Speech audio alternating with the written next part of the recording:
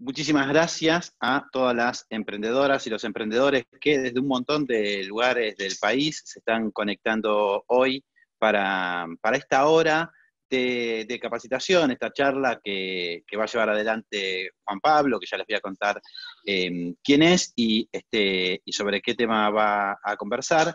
Em, también quiero darle la bienvenida y las buenas tardes a las emprendedoras y los emprendedores que nos están viendo por, por YouTube que contarles que si quieren integrarse al campus de Capacitar, ingresen en eh, www.argentina.gov.ar barra producción barra capacitar. Ahí van a encontrar algunos videos y algunas muestras del contenido que tenemos asincrónico, es decir, que está ahí en, en, el campus y que lo pueden consultar en el momento que quieran, Mm, y, un montón más de contenido en diferentes, este, perdón, ahí adentro van a ver, a ver, esos videos. Después van a ver un formulario que si lo completan, les podemos este, acercar un nombre de usuario y una contraseña y pueden ingresar a, mm, a, nuestro campus y ahí sí ver un montón de contenido que, que complementa no solamente la charla de hoy, sino este, las diferentes etapas o momentos del diseño de su propuesta emprendedora. Además de eso, van a poder acceder a las grabaciones de charlas anteriores, de consultorios y otro tipo de actividades en vivo que fuimos realizando. Así que la invitación está hecha. Ingresen en Argentina Gobar barra producción barra capacitar. en el día de hoy vamos a estar trabajando en torno a un tema que, es bien interesante y, que en algún punto, digamos, está dentro de lo que podría llamar hoy la frontera de lo que se discute o de lo que son las discusiones en términos de la creación de empresas. Lo que Juan Pablo nos trae para, reflexionar, para compartirnos e invitarnos a pensar es cuáles son las habilidades que se exigen y cuáles son los desafíos que se nos, se nos plantean al momento de crear una empresa y que en el momento de consolidar esa propuesta emprendedora, entonces serán otros las habilidades y los desafíos que, nos, serán exigidos. Eh, para conversar esto lo tenemos a Juan.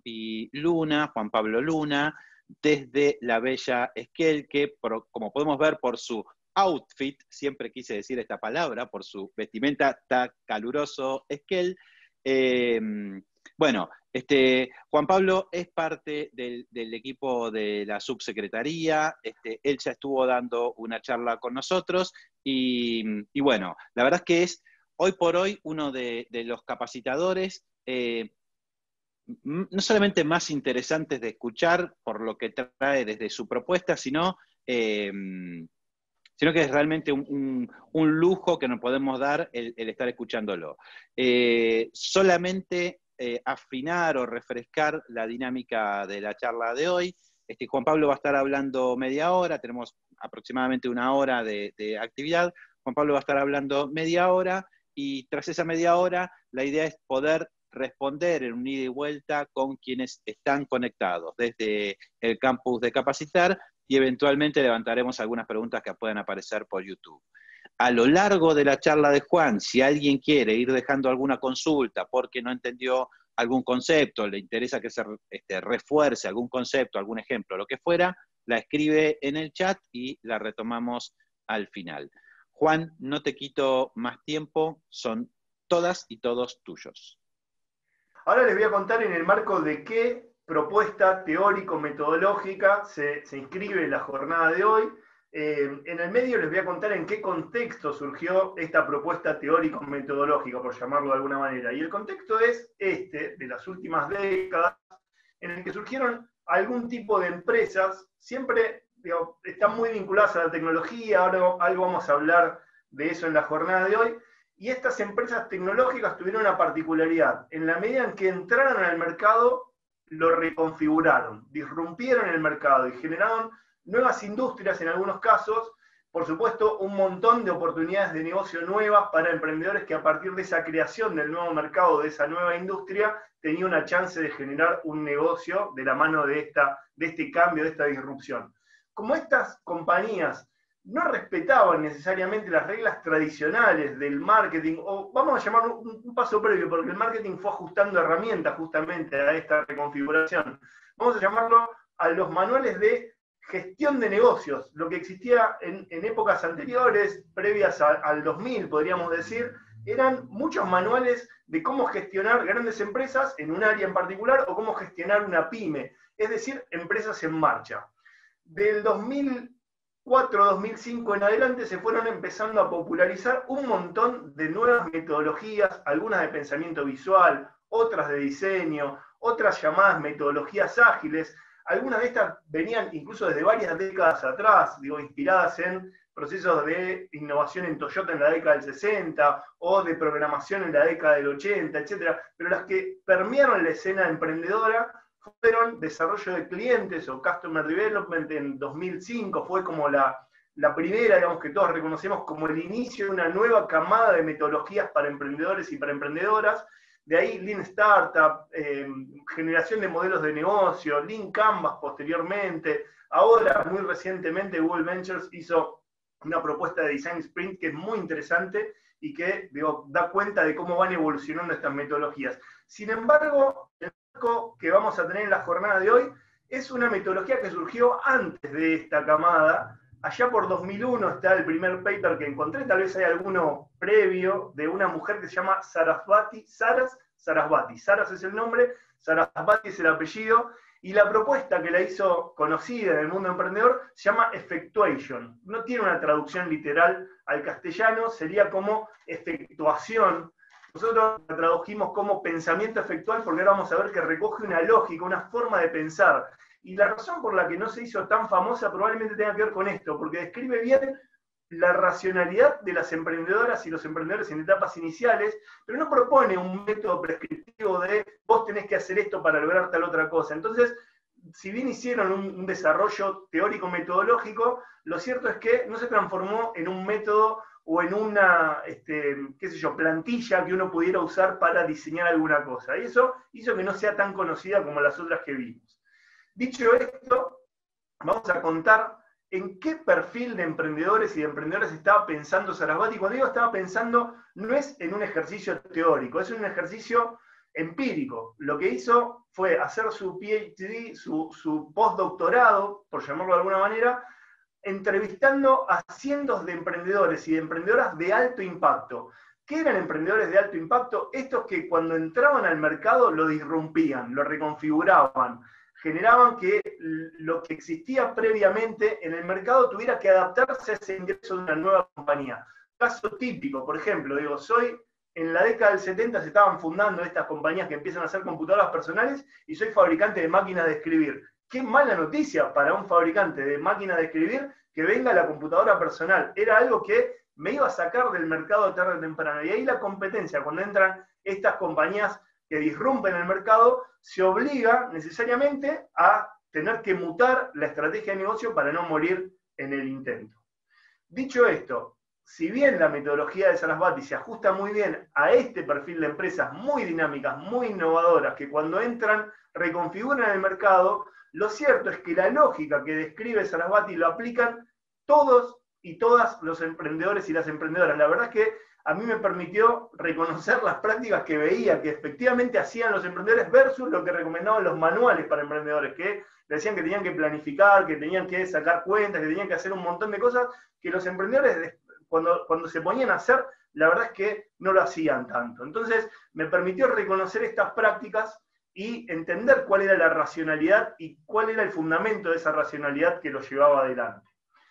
Para contar cómo es el pensamiento efectual, el, contraste es con lo que Sarasvati denomina pensamiento causal. ¿Cuál es el pensamiento causal? Aquel tipo de pensamiento, aquella racionalidad que utiliza un o una gerente de una, de una empresa o de un área de una empresa. Por ejemplo, soy un gerente de un área comercial y me contratan específicamente para llevar la compañía a un nuevo mercado, a una nueva provincia o a un nuevo este, país. Y me piden que logre determinado objetivo. Tengo una meta predeterminada. Es decir, eh, no sé, incrementar un X por ciento las ventas o lo que fuera. Con ese objetivo preestablecido, lo que hago es, bueno, necesito estos medios. Entonces, los medios me disponen una empresa en marcha, por ejemplo, no sé, determinada capacidad de producción, determinado stock, un departamento de marketing al servicio de comercialización que me permite trazar una estrategia, lo que fuere. Tengo determinados medios que voy organizando en función del objetivo que tenía antemano. Así funciona más o menos la racionalidad de un gerente o una gerente de área o de empresa. Y lo que propone Sarasvati es que los emprendedores piensan virtualmente opuesto de eso. Es decir, no se concentran en un fin determinado, porque en realidad en etapas iniciales ese fin determinado se entiende como múltiples posibilidades o múltiples fines o múltiples objetivos, que la verdad que está bueno. Tal vez encuentro produciendo este producto y vendiéndolo en este mercado, pero si el producto cambia y hago este otro y lo vendo en este otro mercado, también podría estar bien. ¿En qué se concentran los emprendedores? Justo en lo opuesto, en imaginar distintos fines posibles, en imaginar distintas posibilidades en función de los medios que tienen a la mano. Y acá vamos a hacer una descripción de los principios del pensamiento efectual que describe Sarasvati y vamos a ir al primero de ellos, que es justamente este vinculado a los medios. El principio que describe Sarasvati como la racionalidad que aplican los y las emprendedoras expertos es el de pájaro en mano. Es decir, me centro en lo que más a la mano tengo? Porque más vale pájaro en mano que 100 volando, dice el dicho. ¿Qué es lo que más a la mano tengo? Bueno, lo que más a la mano tengo es, a ver si ahí pasa. ¿Quién soy? Es decir, mí mismo es lo primero que tengo a la mano. ¿Qué sé? Mis conocimientos, digo, lo, que conozca de lo que fuere, del proceso productivo, del mercado, de, lo que fuere, lo que me hace ser este, quien soy en términos de lo que sé. Y las tercera cosa, el tercer factor es a quienes conozco. Y este a quienes conozco tiene que ver con lo que nosotros denominamos capital social, que tiene, son los vínculos que voy desarrollando o que puedo desarrollar a medida en función de los objetivos que me proponga. Lo que más a la mano tengo es una red de contactos, una determinada personalidad y determinadas capacidades y determinados conocimientos, que es lo primero en lo cual se apalanca un emprendedor o una emprendedora cuando va a iniciar.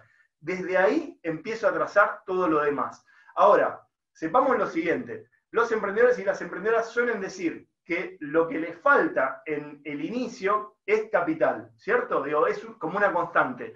Entonces, dentro del pájaro en mano, cuando digo arranco con los medios que tengo, no me refiero al capital. Los emprendimientos más dinámicos tienen muchísimo menos capital del que efectivamente necesitan. ¿Cómo van a ser los y las emprendedoras para conseguir ese capital, para permitirle escalar a esa empresa para que llegue a un tamaño considerable en función de los objetivos que voy a ir abriendo en el camino? Bueno, justamente a través de esas redes de contacto y de esas capacidades personales, y ese es el segundo paso de la propuesta.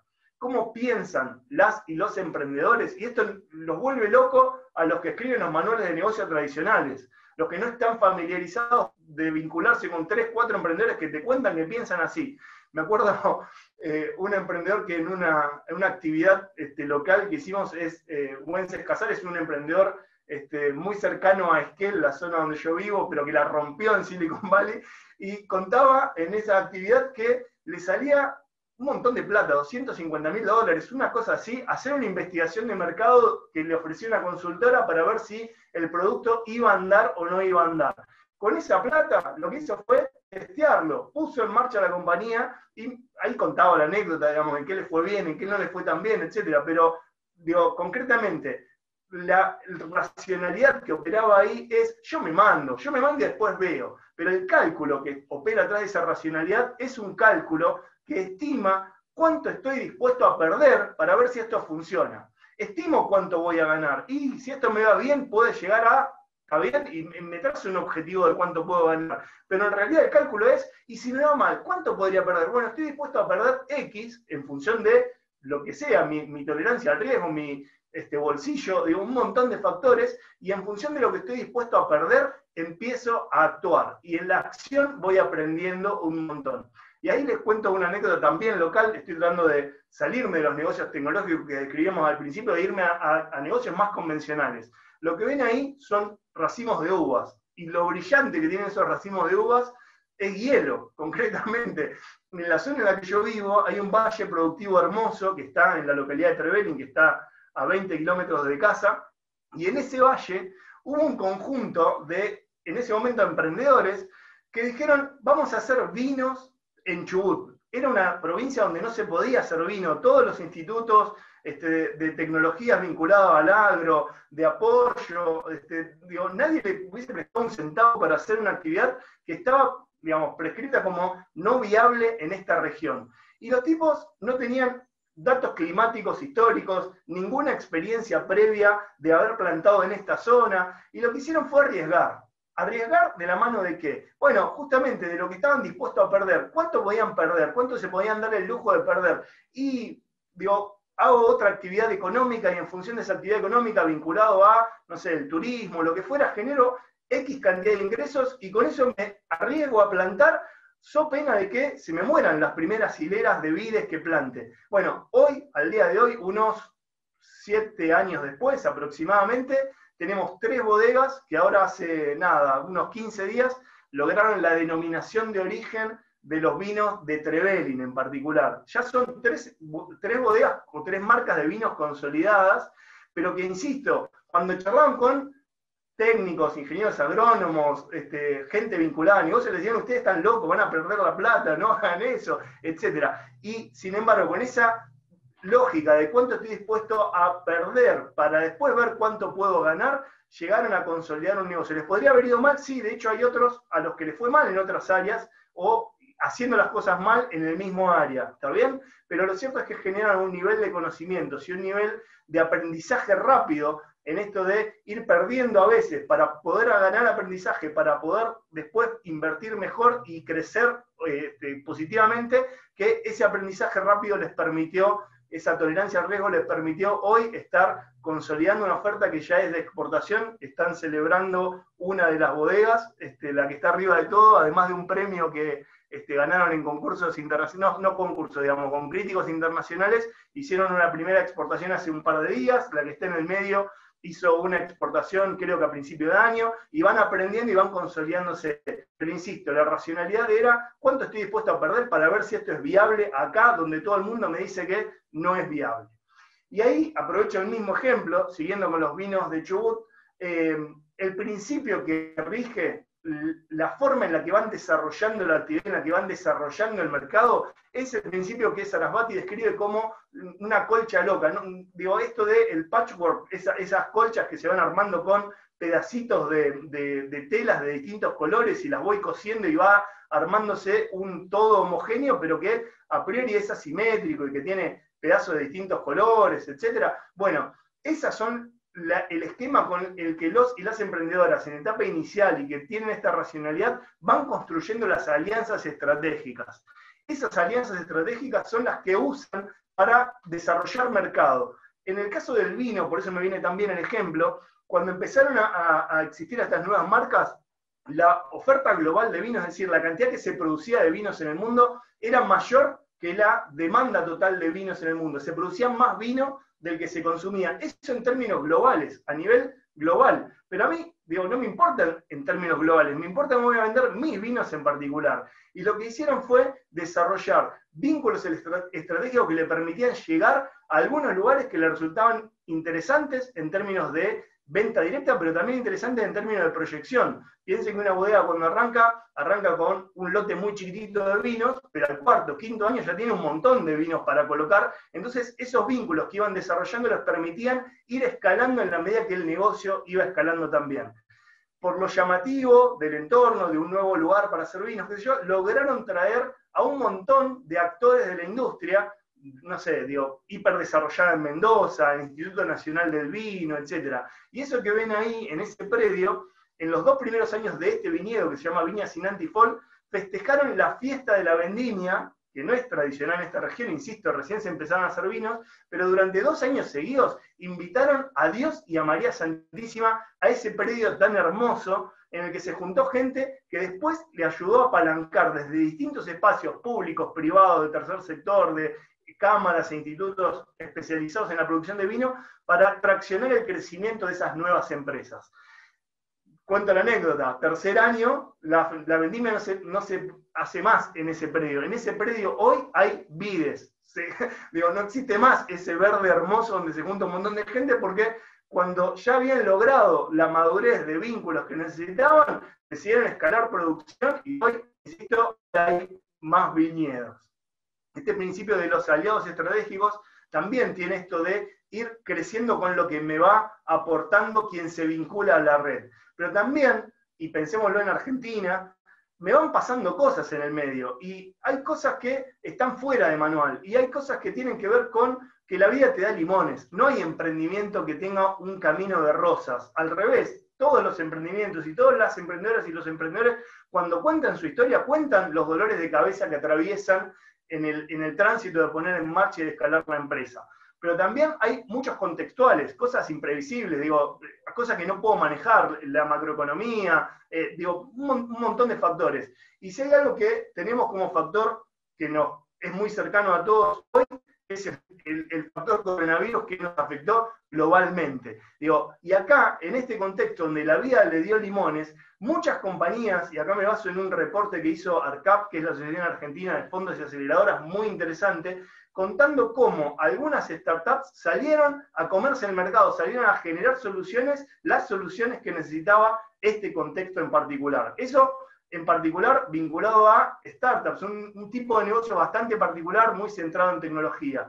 Algo que estamos usando en este preciso momento. El, Zoom, digo, hubo una carrera también que todos la vivimos. Es más, yo ni siquiera sabía que existía Zoom antes de la pandemia. Probablemente a muchos les pasó lo mismo. Y hay una aplicación que sí probablemente conocíamos todas y todos los que estamos en, este, en esta actividad, que es Skype. Tenía un montón de años más que Zoom. Sin embargo, alguien está usando Skype hoy, la verdad es que me animo a decir, y esto por favor, si, Skype está escuchando en este momento, no corre por cuenta de capacitar, háganme juicios a mí. Este, la verdad es que es marginal la participación del mercado que tienen hoy para esto mismo que estamos haciendo. Y probablemente Zoom haya liderado, y a pesar de que tuvo que sortear algunas dificultades tipo, no sé, las políticas de privacidad que le cuestionaban y que muchas otras plataformas este, quisieran posicionarse por ser más seguros o lo que fuera, bueno, tuvo que adaptarse rápidamente y lideró este mercado en el que también surgió Cheats y bueno, digo, todas las que conocemos. Pero parece que esto fuera una carrera de cómo me adapto ante las contingencias y cómo hago limonada cuando la vida me da limones y fuera solo para las tecnológicas. Piénsenlo completamente distinto. Fíjense de sus almacenes de barrio o de los negocios convencionales donde compran, la diferencia entre aquel que digo, cerró la puerta porque el contexto no me permitía hacer negocios, digo, es un, tipo de actitud, o el que trató de hacer limonada con los limones que le daba el contexto. Digo, piensen en ese almacén que se bajó rápido la aplicación y que te esperaba con un cartel en la puerta que te decía, mandame por WhatsApp el pedido, te lo llevo, te compro con, este, no sé, te cobro con X plataforma de pago o lo que fuera. Concretamente, las y los emprendedores en contextos en el que la vida les da limones, hacen limonada. Y esto es mucho más que una habilidad en términos de, algo que pudiera desarrollar previamente. Es algo que se transforma en una actitud que asumo ante la adversidad. En esa actitud, justamente el kit de la racionalidad que propone Sarasvati como pensamiento efectual tiene que ver con apalancarse para dar un salto. Es decir, no solo surfeo la crisis, sino aprovecho la crisis para crecer. Eso es lo que caracteriza esta racionalidad de pensamiento efectual. Otro principio, y este me encanta también, es bien local también del Valle de Trevelin, es el principio del piloto en el avión. Lo que dice este, Sarasvati en relación a esto es muy interesante y a mí me hace acordar muchísimo a muchas y muchos emprendedores que conocí a lo largo de mi vida profesional, de vinculación con emprendedores, y es, no, no planifican, no están mirando lo que hace la competencia, no estiman el mercado y se largan igual. Y eso por supuesto que es una mala práctica en términos abstractos, y por supuesto que cualquier este, actor vinculado a negocios le recomendaría que mire distinto al mercado, que analice la demanda, etc.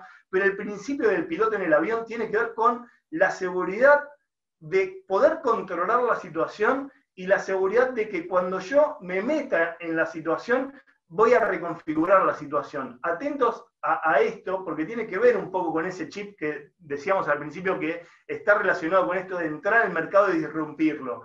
Concretamente, la seguridad que tienen los y las emprendedoras que piensan con este principio es, no me sirve mirar el mercado hoy, porque cuando yo entre al mercado, ese mercado va a ser distinto. ¿Y por qué va a ser distinto? Porque voy a entrar yo con mis bienes, con mis servicios, con la oferta que sea, voy a cambiar y voy a obligar a que la competencia tenga que reconfigurarse a partir de que yo entre. ¿Me explico? Esta línea, el ejemplo es con Mervyn Evans, que es una persona que admiro muchísimo, es un, genio, con ese este edificio que está ahí, es un molino que representa los molinos que se construyeron allá por el 1800 y pico, 1900, lo construyó con sus propias manos en un camino que está casi llegando a, Chile por una ruta que es la ruta 259. Y me acuerdo patente de cómo pensó el, el día que desde la Facultad de Económica, digamos, se lo estaba asesorando y le sugerían que estime la demanda de cuántos autos iba a poder tener como clientes en función de cuántos autos pasaban por esa ruta. Digo, pasan X cantidad de autos, de esos autos X cantidad son turistas, de esos turistas X cantidad serán, este, no sé, eh, se, vincularán con el turismo cultural y un porcentaje de esos turistas entrarán a la chacra a ver el molino que representa un molino del 1800. Mervyn respondió muy rápidamente que no le importaba cuántos autos pasaban por la ruta en ese momento. Lo que importaba era cómo cuando él tuviera el molino iban a venir un montón de autos más a esa ruta. Entonces, ahí el principio es, no necesito predecir el futuro en, términos de este, tener información para poder controlarlo. Si yo con lo que haga puedo controlar el futuro, ya tengo todo lo que necesito. Ese es el principio del el piloto del avión, como lo llama Sarasvati. Y ahí, ya para, para cerrar esta descripción del, del tipo de pensamiento efectual, vamos a contrastarlo. Quien piensa con pensamiento causal, es decir, el pensamiento de un o de una gerente, piensa con un pensamiento centrado en la recompensa esperada, en esto de me trazo tal objetivo porque atrás de ese objetivo voy a tener tal logro y en función de eso oriento la acción. Quien piensa con pensamiento efectual, este pensamiento característico de las y los emprendedores, está centrado en el riesgo, en la pérdida tolerable. ¿Cuánto estoy dispuesto a perder para obtener determinados este, objetivos, metas? Quien piensa en términos de este pensamiento gerencial está centrado en el análisis competitivo, por eso mira la demanda, mira la competencia, mira qué están haciendo, tiene inteligencia competitiva, etc. Y él o la emprendedora que piensa con racionalidad efectual está centrado en qué vínculos va a poder desarrollar para escalar comercialmente, para llegar a nuevos mercados, para este, entrar con un nuevo producto o servicio a ese mercado que no le importa el tamaño tanto que tiene, etcétera, porque lo va a ir reconfigurando en la medida que entre. Y por último, el pensamiento gerencial o causal está centrado en el conocimiento preexistente y en la predicción. Todos los manuales de negocio, de estrategia tradicionales, hablan de cómo predecir el futuro y por eso pienso distintos escenarios posibles para que nada me sorprenda. Bueno, ¿qué hacen los y las emprendedoras expertas y expertos? Piensan efectualmente o tienen esta actitud de centrarse en las contingencias para apalancarse y crecer. Dicho esto, y pareciera que es un Boca versus River, y ahí ya no quiero entrar porque este, Rubén es muy fanático de uno de esos dos equipos, así que no quiero entrar en controversias futbolísticas.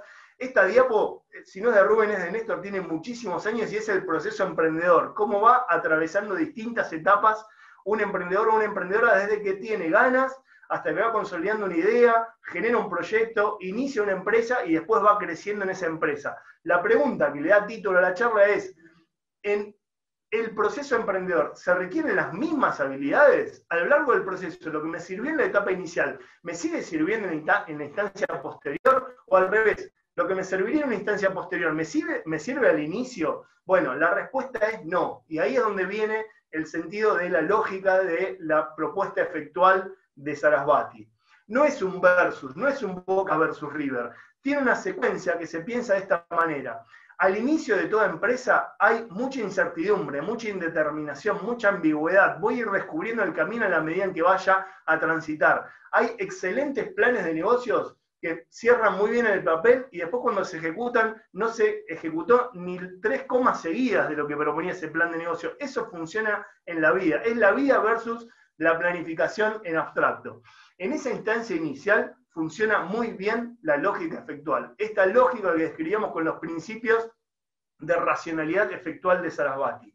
Pero después, cuando estoy en marcha, cuando ya transité la etapa inicial, ya mi producto o mi servicio está en el mercado y tengo que empezar a contratar gente, ganar mercados, escalar, organizar la administración, etc., ahí tengo que tener la racionalidad que tiene un gerente que justamente se orienta a ese tipo de objetivos en, en campo de certeza, no en campo de indeterminación y de incertidumbre. Con lo cual, lo que vemos es que la racionalidad efectual y la racionalidad causal son complementarias. Y Sarasvati lo que propone no es un, este, en etapa inicial solo efectual, no, en realidad lo que dice es, a lo largo de la vida de la empresa, quien la lleva adelante va alternando estas dos racionalidades y va jugando con una o con otra. Lo que sucede es que en etapas iniciales de gestación o de puesta en marcha, la lógica efectual predomina, voy a usar las dos, pero es predominante la efectual, y en etapas de consolidación voy a usar la lógica causal, la lógica característica de los y las gerentas de negocio,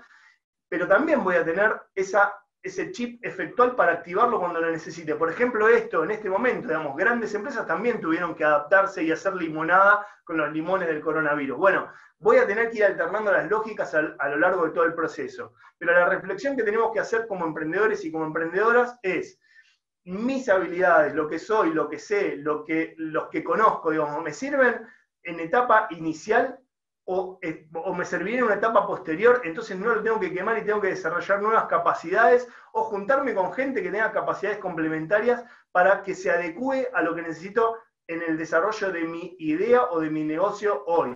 Bueno, la reflexión es, lo que te sirve en una instancia puede no servirte en la posterior. Es más, lo que te hace bueno para una instancia inicial puede ser malísimo para una instancia posterior o viceversa. Esa es la reflexión conceptual, teórica que quería compartir y la idea es que ahora conversemos en plenario y vayamos ajustando la propuesta. Excelente, Juan. Excelente, excelente. Eh, Vos sabés que eh, voy a compartir algo con vos como si nadie nos estuviera escuchando, pero una de las cosas que más extraño de la presencialidad es que en este momento, cuando vos pusiste la, filmina del muchas gracias, se escucharía un aplauso cerrado este, de, todas y todos los que están participando. Y extraño mucho aplaudir, extraño mucho aplaudir, me, genera este, muchos, muchos aplausos. Mira cómo la gente va aplaudiendo. los aplausitos son, horribles, pero es lo que hay. Pero este, la verdad que excelente. Así como, como nos enseñó Gus a aplaudir, este, excelente, Juan, realmente excelente. Em, dos cosas. Una, voy a ir invitándolas e invitándolos a que por favor pongan sus preguntas, reflexiones y demás para aprovechar este tiempo de interacción con Juan en, el chat. Este, tanto aquí eh, los que están en, en, el campus como aquellas y aquellos que están por, por YouTube.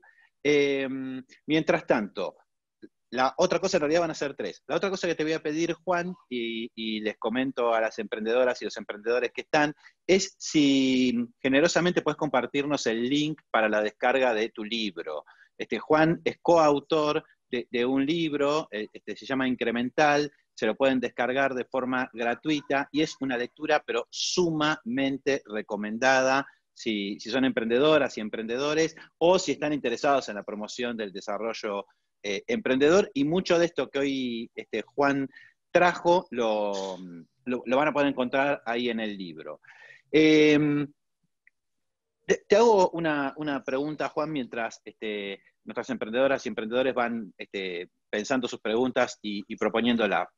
Pensaba mientras te escuchaba en lo siguiente es altísimamente probable que muchas este, y muchos acá adentro hayan asistido a alguna instancia de capacitación por fuera de lo que es capacitar en su larga vida emprendedora. Y mm, si, este, si no entiendo mal, pero más allá de que este, quizás no lo, dijiste tan taxativamente, eh, es altísimamente probable que hayan recibido una capacitación que esté más centrada en esta lógica causal, es decir, que al asistir a una jornada de capacitación, de donde sea, les hayan dado más una instrucción, como si fueran gerentes o gerentas, antes que como si fueran emprendedores o emprendedoras. Y, en realidad la pregunta ahí adentro es, entonces, hay formaciones diferentes, digamos, uno requiere como músculos diferentes si es emprendedor, si está en ese momento inicial, a si tiene que gestionar una empresa que ya tiene unos pasos dados en el mercado? Está genial tu pregunta, Rubén, y la verdad que vos sos Como siempre, yo hago preguntas geniales. Por supuesto. Este, no, vos sos uno de los actores nacionales, junto con, muchos más, por supuesto, digamos, que, compartimos esta cruzada del proceso de adaptación de lo que teníamos a la mano en el momento en que empezamos a trabajar con emprendedores para ajustarnos a cosas que efectivamente les sirvieran. Y lo que teníamos allá, no sé, por los 90, por los 2000, eran tecnologías, venían del management y venían de esta literatura más de, gestión de empresa en marcha, ¿no? Y ahí, hasta que no surgieron estas metodologías que describíamos en la primera este, jornada, la verdad es que no teníamos mucha otra herramienta y lo que aplicábamos era hacer tu plan de negocio. Y le decíamos a alguien que tenía todavía una idea muy inicial, que si no hacía el plan de negocio no podía emprender. Bueno, eso fue una mala práctica que fue sistémica durante un periodo largo de tiempo hasta que aparecieron estas nuevas metodologías ágiles de pensamiento visual que están mucho más preparadas para la alternativa. Como lo decías hace un rato en Incremental, que ahí lo compartió Gus porque lo tenía en el celu, agradecido, este, con Graciela desarrollamos, Graciela Gallo, que es la coautora del libro, desarrollamos algo de esta lógica un poco aplicada a casos y, estos casos que, contaba hoy también están este, desarrollados en, el libro para ir, ir haciendo como una visita guiada de cómo cambió la escena a partir de que este nuevo escenario emprendedor de empresas disruptivas que habían obligado a reconfigurar las metodologías fue ganando terreno. Hoy, la verdad es que un emprendedor o emprendedora que está iniciando hoy esto, se conectó a capacitar este, o encuentra este, herramientas en una ONG o en un organismo de gobierno, en una incubadora, lo que sea, la verdad es que encuentra herramientas adecuadas. Hace 15 años no existía esto, así que aprovechen esa bondad del contexto y, aprovechen que hoy sí existen este, herramientas para captar este proceso de incertidumbre, de indefinición, de aprendizaje del mercado, etcétera. Excelente, Juan, buenísimo. Este, buenísimo no solamente el consejo, sino además el, enfoque y em, destaco y valoro lo importante de que lo traiga, digamos, a este espacio, porque muchas veces, me imagino, eh, puede haber confusión. Esto es, este, y corregime si, si, lo estoy diciendo mal, pero como si yo me anotara en un curso de italiano y, empezar a ver que lo que me están enseñando es portugués. O sea, sí, se parece, qué sé yo, algo puedo entender, pero en realidad yo quiero aprender italiano y de repente siento que las necesidades de italiano que me llevaron a hacer un curso de italiano no se corresponden con la oferta de portugués que me están ofreciendo. ¿Sería algo así?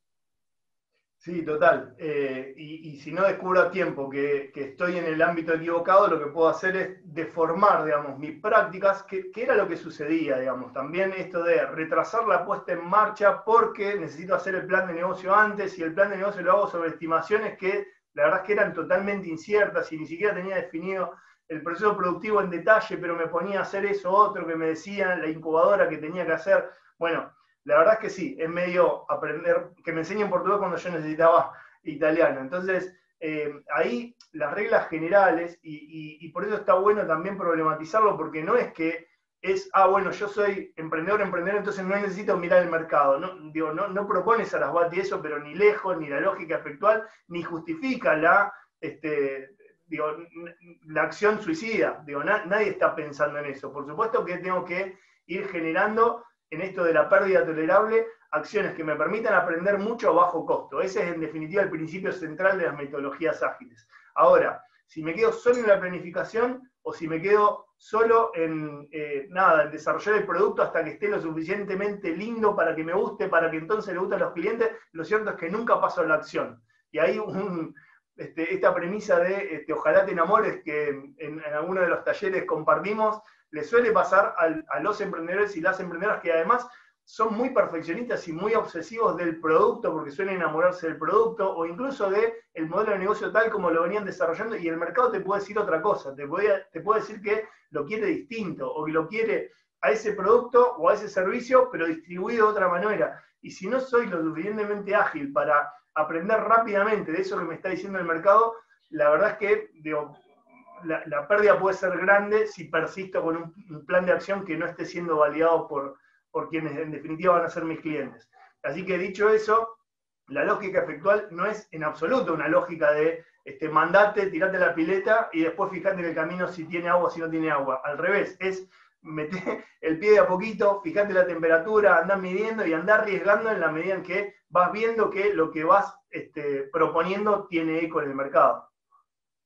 Y, este, y ahora voy a, las preguntas, van apareciendo varias preguntas y comentarios, eh, pero que te los quiero compartir desde ya. Eh, pero vos marcaste tres puntos sobre los cuales, porque nosotros lo venimos este, conversando desde el lado de la formación y el impacto que puede tener en la búsqueda de las emprendedoras y los emprendedores, cuando, digamos, están habitando un mundo y de repente sienten que le están hablando de otro mundo diferente y uno puede sentirse ahí medio desorientado, este, y marcaste tres puntos en, esta diferencia, y que me parece que son bien importantes en términos justamente de las sensaciones, de... Eh, me gustaría que los repases y, los enfatices, pero esto de eh, la relación con la incertidumbre, con las incertezas, con las carencias y esta necesidad de predecir el futuro o descubrir el futuro. Absolutamente, absolutamente. Esa es la línea y se suma un, paso más, que es creo que un paso clave que, en esto de centrarse por ahí en el producto y en que para mejorar el producto necesito dinero y para conseguir el dinero necesito hacer otras cosas, etcétera en realidad se va atrás de un tipo de capital y se desatiende el capital más cercano que tengo. Los capitales más cercanos que tienen los emprendedores son su propio capital humano, en esto que decía quién soy, qué sé, y el capital social, las redes de contacto, los vínculos, pero que no es algo estático, no es un stock que se va a quedar inmodificado. O sea, me apalanco sobre los que ya conozco, pero salgo a conocer la gente que necesito para apalancar mi negocio. De ese conocer, de esas alianzas estratégicas, de esas redes de contactos, van a surgir lo que me va a permitir escalar el negocio. Y eso, la verdad es que si, desatendemos esos principios, de alguna manera, no, nada, no, nos pueden pasar estas alternativas, ¿no? De, arriesgar de más este, sin previsión y perder mucho cuando podría aprender y, cambiar de curso y, perder poco, o de quedarme en un ejercicio de, planificación y muy intelectual, pero que no pasa la acción. Ahora, Rubén, si me permitís, hago un, si se quiere, el paso que falta eh, década del 90, por ahí decíamos, primeros años del 2000 había tecnología de gestión de empresas en marcha, bien, buenísimo, servía para el gerente o la gerenta. En el 2005, 2010, en Argentina en 2010 empezó a permear, 2010, 2012, empezaron a ver estas metodologías de pensamiento visual, pensamiento ágil, etc. Hoy están estandarizados, ya es estándar en la industria, entonces los emprendedores y las emprendedoras se encuentran con muchas más herramientas que le describen esto, cómo este, dar el, eh, el primer paso, cómo usar herramientas que me sirven para la incertidumbre, etc. Ahora, lo que está faltando, y por eso la razón de esta charla probablemente, no es en la etapa inicial, no es las habilidades de la etapa inicial, es las habilidades que voy a necesitar desarrollar para crecer. Y un mal tránsito entre la etapa emprendedora y la etapa de crecimiento y de consolidación hace que los negocios no crezcan. Y nosotros, de alguna manera, por asistir la lógica de los emprendedores, validamos que eso sirve para siempre. Y no sirve para siempre, me sirve para el lanzamiento, me sirve para los primeros años. Es como la, marcha, poner primera y poner segunda, me sirve para arrancar. Pero si no pongo tercera y no pongo cuarta, nunca voy a agarrar velocidad, nunca voy a crecer. Y el año 3 de la, del, nuevo, del nuevo emprendimiento, si sigo aplicando las mismas estrategias que aplicaba en el año 1 o en los primeros meses, bueno, la lógica va a ser que me mantenga siempre pichón, que no crezca. Y ahí es donde le hacemos un daño a los emprendimientos porque terminan siendo emprendimientos de bajo potencial. Entonces, ahí las emprendedoras y los emprendedores que, estemos compartiendo este espacio, la, racionalidad es, bueno, ¿cuándo tengo que cambiar el chip? ¿En qué momento tengo que empezar a hacer las cosas que haría un gerente? Y lo que me sirvió para la etapa emprendedora, digo, tengo que hacer el duelo y tengo que empezar a pensar de otra manera. Ese tránsito es clave para que los negocios crezcan. Excelente, está buenísimo. Por lo tanto, y, en función de lo que este, propone la charla de hoy, pensarse, uno, en términos de desafíos y solución de desafíos cuando emprendedor, otro en términos de desafíos y, abordajes de esos, de esos, desafíos en tanto gestor, gerente de esa empresa que cree. Em, te voy pasando preguntas que vienen además con comentarios. Cerveza Coco dice que eh, fue espectacular la charla, que siendo de Bariloche, dice que vos lo vas a entender por estar en Esquel, tiene una gran dificultad eh, de los fletes para hacer llegar nuestros productos a los mercados que queremos. ¿Qué tipo de alianza o solución se puede adoptar para achicar esos costos? Tremendo. Eh, primero este, leía Cerveza Coco en el inicio de la presentación. Bienvenido, Bariloche. Teníamos gente de todas las provincias patagónicas. No vi nadie de Tierra del Fuego, pero teníamos de Chubut, Neuquén, este, Tierra de, no, perdón, Santa Cruz eh, y alguna más que me estoy olvidando. Así que bienvenido. Y Río Negro. Y Río Negro, y Río Negro, tal cual, Bariloche. Este, Bueno, justo eh, uno de mis, de mis instancias profesionales fue gerenciar una incubadora de empresa que está en Esquel, así que te, entiendo, porque imagínate si los fletes son complicados a Bariloche, imagínate 300 kilómetros más abajo. Y es un componente muy grande de los costos. Justo apalancándonos en, esto, en esta propuesta de Sarasvati, la verdad es que para esas economías regionales que necesitan insumos que están a 2.000 kilómetros, muchas veces que además de traer los insumos de 2.000 kilómetros tienen que vender los productos a 2.000 kilómetros, entonces tengo flete de venida, flete de vuelta, compito contra gente que tiene la vuelta de la esquina de los proveedores, etc. No hay una sola estrategia, hay un conjunto de estrategias. Ese conjunto de estrategias, por supuesto que este, puede tener que ver con este, generar diferenciación del producto y, más de marketing, pero apalancándonos en la propuesta de Sarabati, la verdad que las alianzas estratégicas son como una receta de solución. Es muy difícil juntarse con otros, lo, sabemos todos, y más en los negocios.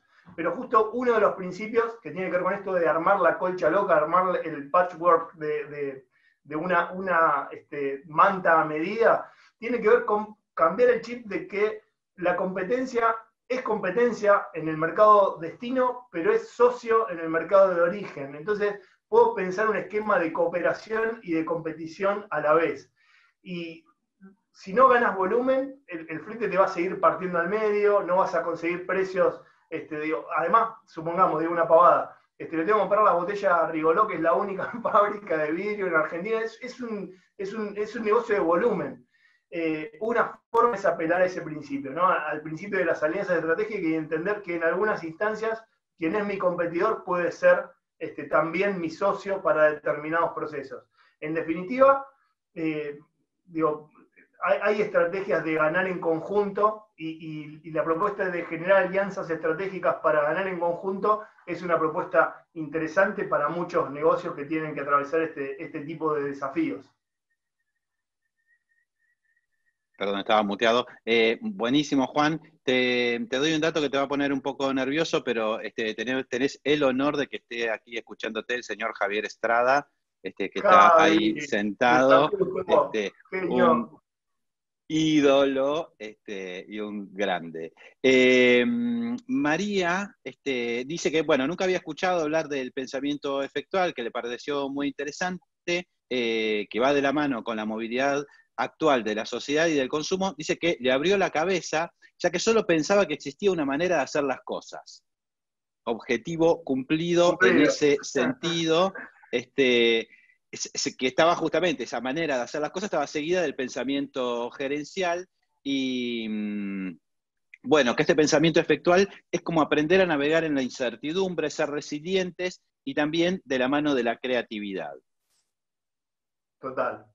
Ahí hago un pie de página que, está, bueno, Rubén, para reflexionar en esto de las habilidades, ¿no? Porque, a ver, eh, en términos de desarrollo emprendedor, y Rubén es uno de los especialistas nacionales en este tema, hablamos de competencias emprendedoras como aquello que te hace competente para ser emprendedor, ¿no? Y describimos algunas, no sé, ser creativo, creativa, este, tener capacidad de planificar o de proyectar, tener orientación al logro, tener capacidad de cumplimiento, hay un conjunto. Ahora, si las listamos en abstracto, la verdad es que es un lindo paisaje de, bueno, tenés que hacer esto, esto, lo otro, y hay un montón de, de sitios web de divulgación de la temática emprendedora que te dice todas las cualidades que deberías tener y si vos te contrastás contra eso, decís, a mí me falta 5 de 10. Bueno, la verdad es que no hay una receta única para ser emprendedor o emprendedora y cada emprendedor o emprendedora va haciendo su propia receta para emprender. Con lo cual, primero, no comprarse ningún estándar de afuera. En realidad, justamente el principal capital que tienen para emprender son ustedes mismos, sus capacidades, sus conocimientos, sus inclinaciones, esto de mirar distinto y que se le ocurra algo que a alguien, no se, alguien al, lado no se le ocurriría, porque no es algo que es una necesidad estática del mercado con una mirada más tradicional de que las oportunidades están afuera. En realidad las oportunidades están adentro de, la persona que las lleva adelante. O en un conjunto de eso interno con el mercado, con lo externo, etc. Ahora, no me preocupa tanto esto de el, inicio, porque probablemente muchos de los que nos están escuchando lo tienen resuelto, sino más bien en esto del cambio de chip para escalar. No se aten a habilidades que sirvieron en el pasado exclusivamente porque tal vez me sirvieron en una etapa inicial. El problema es que no me sirven en una etapa posterior, concretamente hacer múltiples cosas, hacer 10 cosas a la vez, es algo que le sirve mucho a los emprendedores y a las emprendedoras en etapas iniciales porque tienen que resolver problemas muy diversos entre sí, de comercialización, producción, distribución, e, etc. Ahora, en el año 5, si no tengo equipos que hagan esos procesos, si no tengo gente que pueda, a la que le pueda delegar alguna de esas tareas, voy a tener un problema de crecimiento. Insisto, el multitasking de etapa inicial puede no servirme al año 3 si pierdo esa ecualización, digo, si esta charla lo que hizo es validar, ah, qué bueno, este, entonces porque soy efectual, este, soy buenísimo o buenísima, e, e, esta charla está, funcionando mal. Lo que tiene que dejar esta charla es en parte de, hay habilidades que están buenísimas y que son súper valiosas en la etapa inicial, pero probablemente me estén obstaculizando el crecimiento. Entonces, ahí esa ecualización de en qué etapa estoy del proceso de emprendedor y qué necesito para esta etapa y qué capacidades tengo que desarrollar o, contratar o asociar o lo que fuere, bueno, es parte de lo que queríamos problematizar. Excelente, excelente, buenísimo. Em, en esto del desarrollo, dice Ariel, eh, siempre la parte más complicada es la de conseguir recursos. ¿Qué tips podés dar para eso? Eh, a ver, Simón, y eso Rubén hacía una para eso. una, visión de la mano de, esta propuesta para no traicionar, digamos, la propuesta de Effectuation y de, lo que estamos compartiendo en esta charla. Eh, como el primer capital que propone la propuesta de efectuación es lo que tengo a la mano, y en eso que tengo a la mano es lo que soy, lo que sé y a quienes conozco, lo que propone Effectuation es basate en esas alianzas estratégicas para conseguir lo que te falta. Y lo que te falta se va cambiando en el contexto, porque por ahí consigo una pavada. Consigo alguien que se asocia conmigo como socio capitalista, digo, la, forma más directa. Bueno, a partir de que tengo eso e internalizo ese vínculo y tengo ese dinero, puedo estar en un estadio 2. Este, y en ese estadio 2 puedo generar nuevas alianzas o puedo generar nuevas metas y así, ir escalándolo. La verdad es que no hay una receta única, el tema de, conseguir capital, a ver, cuanto más dinámico es el emprendimiento, cuanto más grande tiene potencial de ser, más capital va a necesitar. Pero eso funciona muy distinto de acuerdo al rubro y de acuerdo al, perfil de negocio que vaya a desarrollar.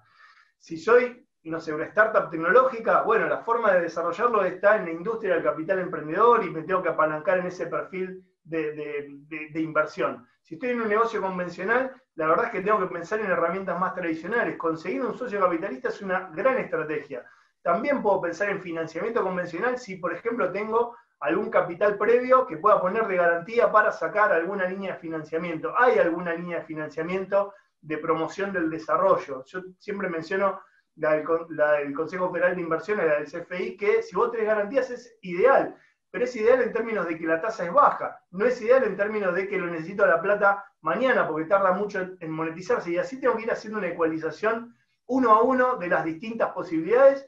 Y el consejo es hagan la que les parezca que es la más adecuada, vender algo este, y capitalizarse con algo que tenía, conseguir a alguien que me preste, ir al mercado formal de capitales y calificar ahí, hacer un esfuerzo para, no sé, ganar concursos. Digo, no hay una receta única. Cada emprendedor o emprendedora tiene que medir en, su ecosistema y en su propuesta de negocio cuál es la que mejor le, combina. Y la verdad es que los emprendedores que, hacen y que logran, este, siempre afrontaron esto de que le faltaba algo para arrancar. No hay un emprendedor que diga, yo ya tenía todo y entonces lo hice. La verdad es que la descripción de los procesos de puesta en marcha de empresas siempre es desde un lugar de me faltaban un montón de cosas y me fui vinculando con quienes me podían aportar eso que me faltaba. Entonces, insisto en el principio este de las alianzas estratégicas que propone este, Sarasvati, porque en definitiva cuando este, uno escucha las historias de emprendedores, siempre hubo algo de eso atrás de, la puesta en marcha y de conseguir lo que le faltaba. Ahí, quiero este, tomarme un atrevimiento, Juan, de, eh, poner un, par de elementos ahí. Lo, voy a anclar en un caso, en un caso justo que, este, podemos, eh, va, que, vi en uno de los foros de, nuestro campus de Capacitar, eh, donde alguien, bueno, muestra un producto, varias emprendedoras emprendedores reaccionan, che, qué bueno, me encanta, qué sé yo, dónde los producen, em, dónde los comercializan, los puedo comprar, dice, bueno, no, estoy en etapa de prototipado, em, por lo tanto, y, el planteo que hace es, eh, para crecer, y me parece este, interesante traerlo, para crecer y consolidar esta empresa necesitamos un subsidio del Ministerio de Desarrollo Productivo. Este, y, acá el planteo es el siguiente. Si en el diagnóstico que ustedes hagan de su problema, eh, después de un análisis sesudo y profundo, concluyen en que la solución a sus problemas es plata, está mal hecho el diagnóstico. Está clara, o sea, el mejor indicio de que diagnosticaron mal sus problemas es que concluyan que con plata lo solucionarían. Yo les quiero contar algo que es bien impactante, pero con plata yo sería lindo, o sea, a ese nivel este, opera la plata. Entonces, el, digamos, la plata es en algún punto, digamos, lo puede poner como, bueno, la solución a todas las cosas, es un catalizador, digamos, un medio que me permite resolver cosas.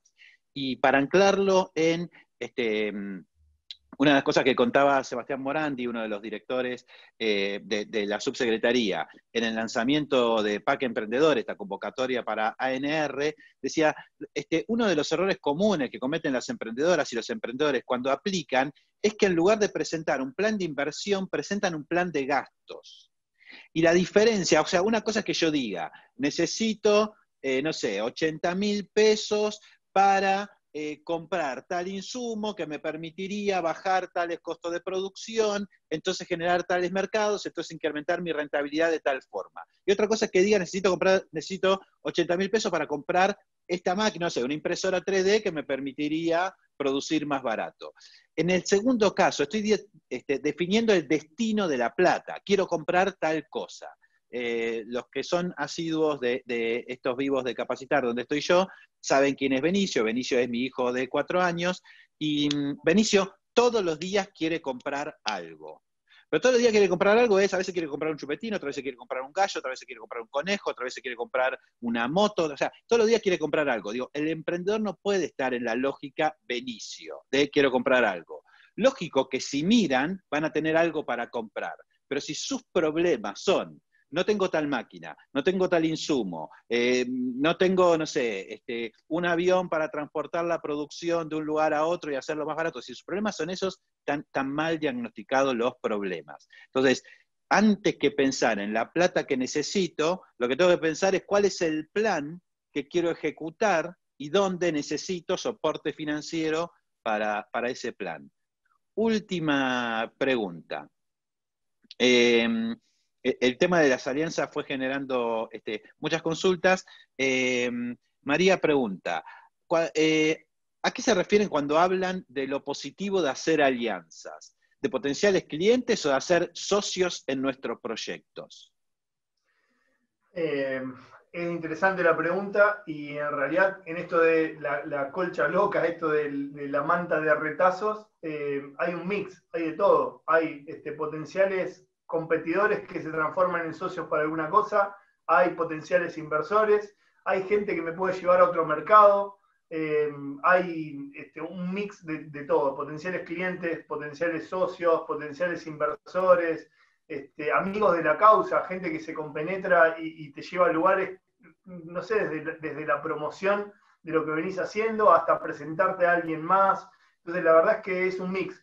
Eh, lo, que, lo que menciona Sarasvati, que insisto, no es un trabajo prescriptivo, no es lo, no, Sarasvati no, dice lo que tenés que hacer, lo que te dice es lo que vio que hacían a quienes le había ido bien como emprendedores expertos o de alto impacto, y lo que decía era que eran muy vivos, muy bichos a la hora de este, ir este, diseñando esta, mal, esta manta, ¿no? Este, iban viendo a quién podían acceder qué les podía aportar y cómo se podía conjugar con lo que le aportaba otro u otra, este, y así iban haciendo un diseño de alianzas estratégicas.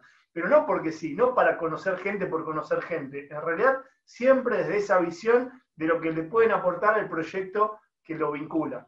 Eh, y desde ese lugar no hay una receta para desarrollar alianzas. No, no se puede decir, bueno, vos lo que tenés que conocer es La verdad es que eso va a depender del proyecto y del tipo de negocio y del estadio en el que esté cada uno o cada una de ustedes.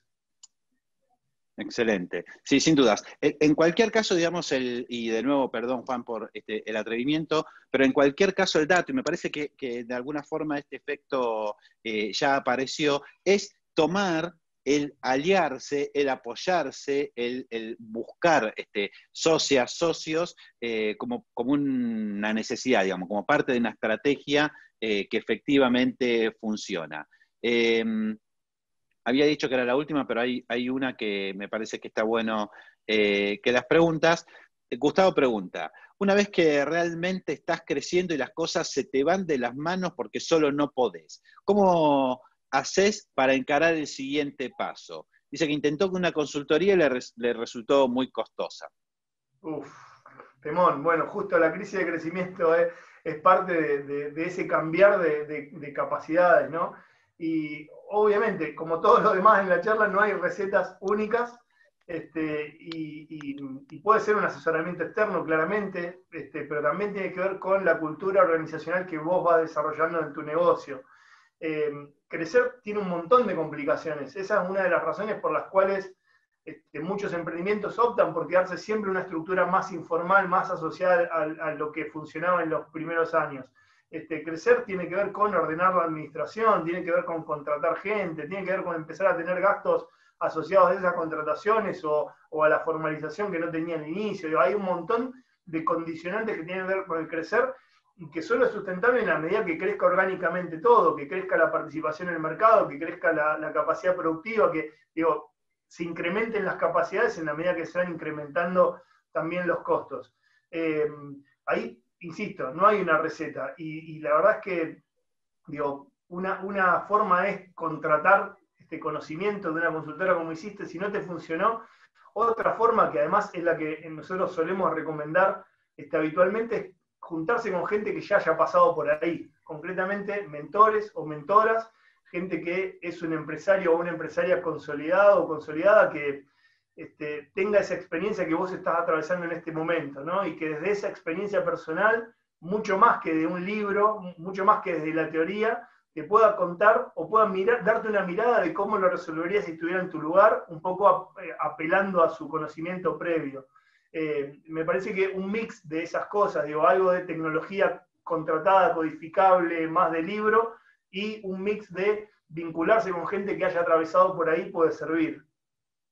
Hay mm, este, dos cosas. En el propio campus de Capacitar pueden encontrar eh, detalles sobre el programa de mentorías de la Subsecretaría de Emprendedores. Va a haber próximamente otra actividad para que lo vean y desde ese lugar eh, entender, digamos, eh, la lógica de esto. Más allá de, la propia red de mentores de, la Subsecretaría, hay este, otras instituciones que también ofrecen esos servicios de mentoría que son bien interesantes. Una, y dos, eh, busquen en, las este, charlas que están grabadas en el, campus de Capacitar, eh, que alguna vez hablamos de qué es lo que hacen bien los emprendedores a los que les va bien. Y uno de los puntos que, insisto, no es, no es análisis teórico, sino que está sustentado en la casuística de estudios como el Global Entrepreneurship Monitor o el G-Index, digamos, estudios a nivel global que claramente toman casos de Latinoamérica también, es eh, que los equipos mutan, cambian su complejidad a medida que el equipo crece. Y en función de esto que decía Gustavo, si, mm, yo tuviera que decirle un lugar eh, donde tiene que empezar a mirar, es si el equipo con el que arrancó la empresa es el mejor equipo para este nuevo momento de la empresa. Revisar los equipos y cómo se componen eh, es una buena práctica de aquellos emprendimientos que logran este, transitar esta crisis del crecimiento que, mencionaba Juan eh, con, buena tasa de éxito, digamos, o sea, logran consolidarse a partir de eso. Pasa que, a mí me encanta decir esto, tenemos que separar, o sea, el mundo de los negocios no es un mundo de sentimientos. Entonces yo arranqué con un equipo de personas con las cuales me encariñé porque, mirá, este, aguantamos las peores tormentas juntos, espaldas con espalda, qué sé yo, y salimos adelante, entonces ¿cómo ahora los voy a dejar de lado? Bueno, si no los dejas, digo, primero no se trata de dejarlos de lado, pero este, si no tenés pensado modificar o revisar ese equipo, lo más probable es que este crecimiento te lleve puesto y si te separas de esos sentimientos y te concentras en los negocios, vas a ver que necesitas nuevas habilidades en ese equipo, necesitas nuevas experiencias en ese equipo y, desde ahí este, ir mutando. Em, Juan, no, no te los voy a leer porque te agrandás y, después te vuelves insoportable ahí en Skell, pero la gente está encantada con, la charla, realmente este, fue muy, muy buena, lo digo muy en serio, eh, nos permitió abrir la cabeza, empezar a entender eh, y, tomar, digamos, esta, mm, e, esta perspectiva de que efectivamente hay un conjunto de habilidades que hacen a lo emprendedor y otras que hacen a la gerencia y que a veces nos exigen ser gerentes cuando estamos emprendiendo y entonces empezar a sentirnos más cómodos con esto de ser emprendedor. Em, así que muchas, muchas gracias, fue realmente muy, muy bueno.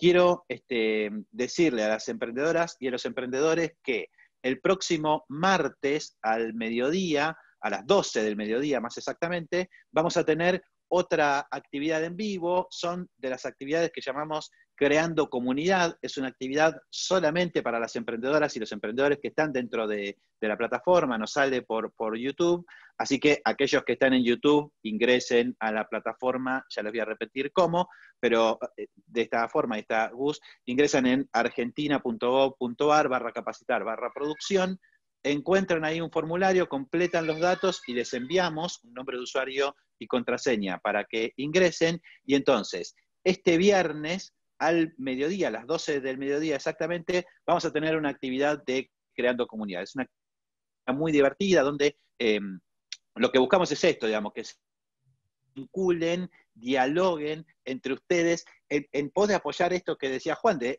empezar a experimentar y desarrollar ese músculo de construir alianzas, conocer el entorno y demás.